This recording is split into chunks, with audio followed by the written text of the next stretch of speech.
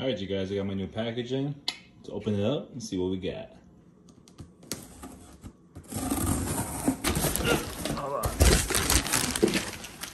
And here we are, the Smash It Sports Little Guerrilla. Let's roll around.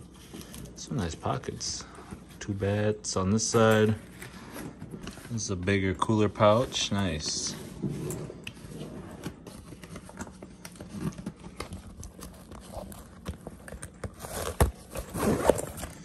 Kind of like a utility pouch right here. They said this is there's two cooler pouches or whatever they call them, hydration pouches, whatever. I'm guessing this is the other one. And that would be correct, yeah. And then no Velcro. I don't know. I didn't look in here. I just zipped that up. Just kind of one longer pouch in here. It's felt lined on the inside, so it'd be nice for some sunglasses or something. But um, I think this is big enough to put my first aid kit in here, so that's probably where that'll go.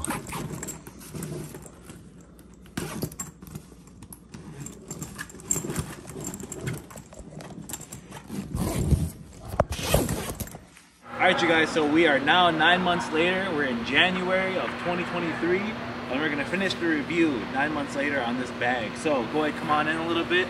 We're gonna show you guys, we're gonna talk about a couple different things here on what we like and what we don't like. So first off, one thing that we like is this bat holds four bats, okay? So check that bad boy out. Four bats on this side. I'm sorry, two bats on this side, two bats on this side. very awesome. The reason why, once again, going back into why I bought this bag is because I have a very small vehicle. We have a Jeep Renegade and a small uh, compact car. I can't carry a full-size roller, so that's why we bought the little Guerrilla. So that way we have more capability instead of keeping the backpack on. We have something a little bit bigger uh, to store everything. So now let's go into the top pocket real quick. So inside of this top pocket, how I like to carry it is I keep my bag in here. This is a 13 inch glove, okay you guys? 13 inch. And usually I'll keep two pairs of batting gloves in here. So what we do is just put them in right here. And it fits just like that, you guys. A 13 inch glove. Um, I had I can fit two gloves in here. I don't have my other one with me right now. That one's a 1275. I can fit them in here, but it, it's pretty snug, you guys. You got to get them in, get it in pretty tight. So what I like to do is if I'm carrying two gloves, I'll put the other one in the bottom pocket below. So now, let's close this up. And we're gonna talk about this little front pocket down here, you guys. So this front pocket right here, and then this back. What I like to carry in this front pocket, it's pretty small. It's probably only about four and a half, four and a half inches, and then probably about about eight inches wide, or yeah, about eight, inches wide. So what I keep in here is a first aid kit, you guys. Always keep a first aid kit with you. Usually I have a pair of scissors in here and everything. Maybe I'll go down like my little boo-boo kit for softball later on, but that's what I like keeping keep in here. It fits perfectly in there. I don't know which one it is, you guys, but as you can see, like I said, it's pretty small. And if you find anything else to put in there, you can, but that's what I like having. Now this big pocket right here opens up all the way down. And I really don't honestly keep anything in here too big. Um, like if I had to carry the um, the book would be perfect to put in here, you guys. I can fit uh, the game book in there to write stuff, the scorebook in here. But honestly, I don't really put too much stuff in here just because it's too bulky. Um, okay, let's say for an example, let's say if I put my fanny pack in here, all right? Rock the fanny pack, you guys. Love it. This is an essential right here. So if I put this in here, you can see how much more this bulges out. It's not too bad, but if you're putting anything much bigger in there, you're gonna have quite a bit of bulge inside of your bag. But this is good for kind of like a catch-all if you want to put other stuff in there. So close that up. So now we're going, gonna come back over to the side here. So we have a monster. Just kidding, this is a monster. Um, I just like to, it's already drank, there's nothing in here, you guys. Obviously you can hold whatever can you want. Alcohol, non-alcoholic beverage. On the side here, this is a pretty big pocket. I really, really like the side pocket. This is a cooler pocket. This is lined, so you can fit a Gatorade in there, and it will fully close up if you guys put like the full-size Gatorade bottle in there, like the little short chubby ones, but like the long skinny ones will fit in there. So what I keep in there is my Yeti tumbler, okay? This is the one I always have water in, and this works perfectly, you guys. fits right in there perfectly. You'd hit that during mid game, go ahead, open up that bad boy, get some hydration, all right? so now on the other side, this pocket right here is more so like a utility pocket. So what I keep in here is like, same thing as this big pocket. This pocket right here for me is more of that catch-all utility pocket. So I just have my sunglass case, my sunglass cleaner, and I have some Allen wrenches in here. So like it always changes. Like when I have my GoPro and stuff like it, I'll put my GoPro in here. I'll put the batteries and stuff like that inside of this pocket, so that way I have a quick access to it, to, hanging up on the fence and stuff like that. Or if I need to put my wallet or stuff like that, this is usually what it goes into. Otherwise, I'll put my wallet and stuff into this top pocket if I'm not rocking my fanny pack. So, like I said, this is a great pocket for a catch-all. Like I said, fits an open case perfect with the old glass cleaner. Now, on this bottom pocket, this is kind of a goofy pocket, okay? So it's the same exact size pocket as this one over here, this um, um, like cooler pocket. It has that lining inside of it. But it's really goofy to get in access to, okay? if you want to carry like your water on this side, cool, then you can put a Gatorade or another water inside. It works fine. Like I said, it's really goofy if you're trying to get into it. But obviously, like if you're just storing an extra one, it doesn't really matter so much. So what I do is I actually put my control balls in there. So these are the smaller um, 74. I think they have like an 86 or something like that is the bigger version of these ones. But I keep the smaller ones. I always keep three in here. I only put one in here right now, but usually I always keep three in here. So that way, like if you're in an area like this, or you're in a, um, a facility where you can't hit, or you have fields that are like four fields or two fields that are really close together, or you only have a parking lot to hit in, then you always have a way to take some BP, you guys. Uh, we'll do a video later on down the road on control balls and what like importance they are, but these are awesome to have in the bag, you guys, because they're small, they don't take up much room, and they help you get BP if you can't go to a field or you need something quick to get warmed up, you guys. Control balls are definitely the way to go, and they're very durable. I've never seen one break. Let me know down below if you guys use control balls, alright? So now, before we go into the rest of the video, let's talk about a con on this bag. So if you guys can see, this looks like me when I'm slunched over when the jelly roll is getting crunched up, you guys, because you guys are, this reminds me like that um, of Patrick when he's like sitting down. Oh, what next? Hi, SpongeBob. And it's like his little. Anyways, we're getting off track here. So one of the things that I don't like about this bag, you guys, is it just does like I don't know what you would call this. What would you call this? It's like a. Uh, the wa- yeah, weight distribution is falling over on itself. It just does not look good, you guys. It's Yeah. not attractive at all. This is one of the biggest cons, if not the biggest con that I don't like about this bag is that it does this, whatever this is. Obviously, the one thing that'll keep this is my buddy had um, a custom PVC pipe frame inside of it, but it was like 150 bucks for him to make it, and they can go up from there. So if you want to pay the hundred and some dollars or make one yourself, that's one of the probably the only ways that I can think of that you're going to be able to keep this bag from doing this. Okay. So now, let's go into let's go into the main pocket here. So once again, this is where that con comes in, you guys, because this is really difficult sometimes. That was really easy, but most of the time, like I have a hell of a time trying to open this bag up. So what I have in here is my camera bag. Oh, there goes a ball. So I have my camera bag in here. Uh, warm up ball or whatever. You guys need an extra ball. Always try to keep one or two balls. So what I like to try to do is keep one ball in here that's like your beat up ball. It's good for throwing around everything before the game. And always keep whatever you play, USSSA or ASA, USA, keep a brand new ball in your bag because you never know when your team needs an extra ball, you guys, all right? If you're supplying balls, because we're not all conference players. A lot of us, we got to supply our own balls, you guys, all right? So now, this is what else I keep in here. I got a bunch of different batting gloves. I like to switch my batting gloves around. I like my batting gloves to match my unis, all right? I like to try to come color correct. And I have my face mask. Back in uh, this past August of 2022, um, I broke my nose twice in one weekend at Native American Worlds.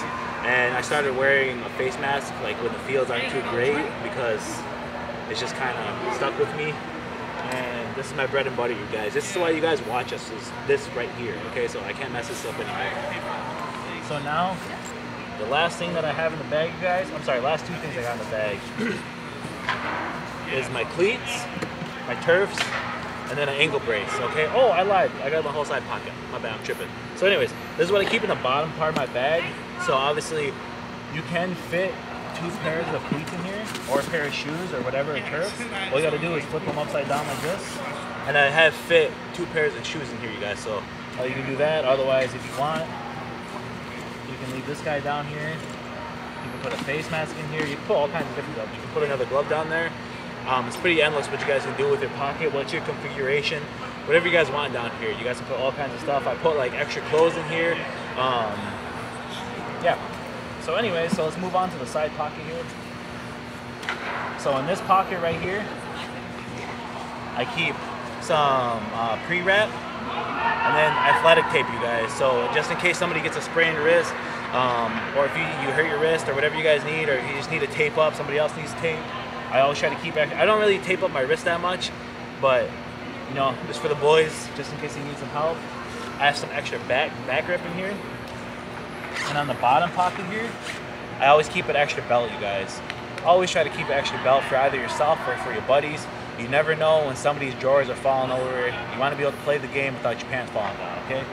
And then for me, this is essential, you guys. It's an extra hair tie because you never know when this bad boy's gonna break. All right, the girls know, right? Don't we always need an extra hair tie, right? If you have long hair. Absolutely. See, right there.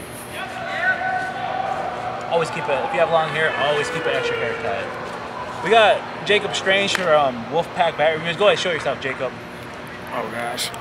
Some long hair. We could like give him a little ponytail or something like that. I had longer hair, cut it about a couple weeks ago, but I am growing it back out. yeah, we could we could make it work. Shout out to my boy Jacob. He's uh, helping me with this review real quick, you guys. You guys, sorry about that. We had a little bit of trouble. I forgot to hook up the cord to the mic, so now we should have better better audio. I'll try to fix that um, when I'm doing the video. But anyways, let's move on, you guys.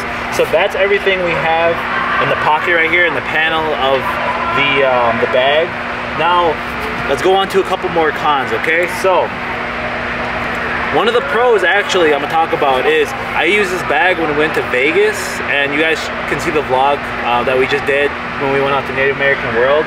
What I did was I bought packing cubes you guys and I put two packing cubes in here and I literally took my full weekend of clothes in this bag. I was telling Jacob about that earlier that this can double when you guys travel if you do it right you can take your full weekend of clothes from your softball clothes, uh, your game clothes to like your regular apparel, wherever you're gonna wait. You can pair or wear take your cleats, an extra pair of shoes, and the ones you're wearing. So you can take three pairs of shoes, take a backpack, you guys. You're literally set for the whole weekend. This can be your check-in bag, and then you'll have your carry-on backpack, you guys. So you'll be straight if you guys do it right, and that's what I did, and it worked perfectly. I'm sorry I don't have any pictures or anything like that home. So now let's go into one of the cons of traveling with your bag with this backpack, okay? So I'm gonna close this up real quick. And this is where that little part that I was telling you guys about, why when it scrunches up like this, it's really difficult sometimes to zip it back up, okay? So now, now this is one of the cons of this bag and traveling with it. When I got off the plane, went down to the uh, when you get your wherever you get your bags at, I looked at my bag and I thought it looked a little funny. And the reason why it looked funny was because the bag ripped on the bottom.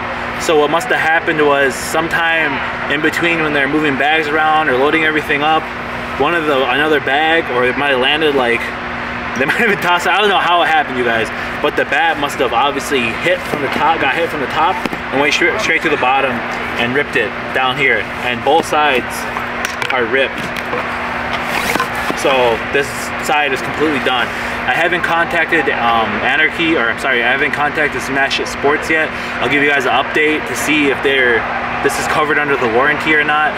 I really hope it does because I really did enjoy the bag, but that this is pretty lame. I did not expect that to happen, and I'm sure that that could possibly happen if you guys aren't careful when loading this in and out of your vehicle, um, especially when traveling. So be careful that you guys. I hope that doesn't happen to you guys.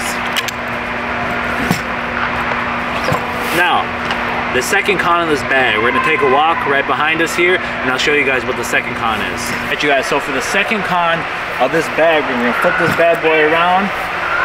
So, these right here do not come with the bag. One of my buddies gave me these because he had extra um, hooks.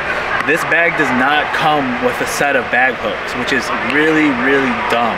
I don't understand that because one, you guys see how this crunches, right? I don't know how many times I've looked back and this happens to my bag, right?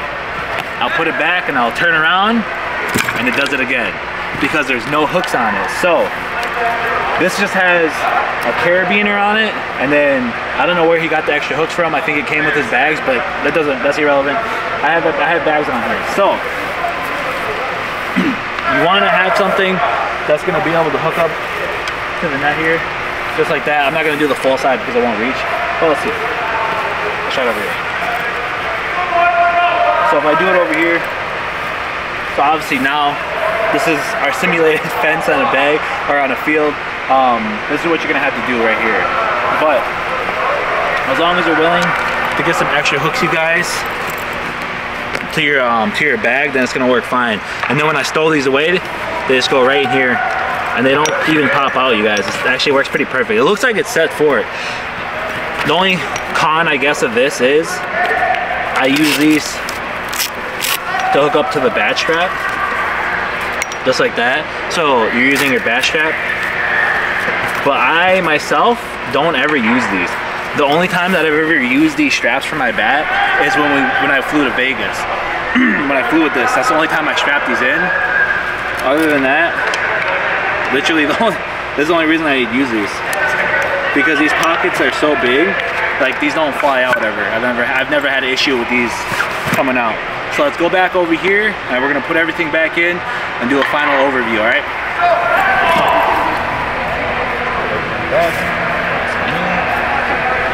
Shout out to Tom on back. All right, you guys, so I guess you could say a final overview of this bad bag.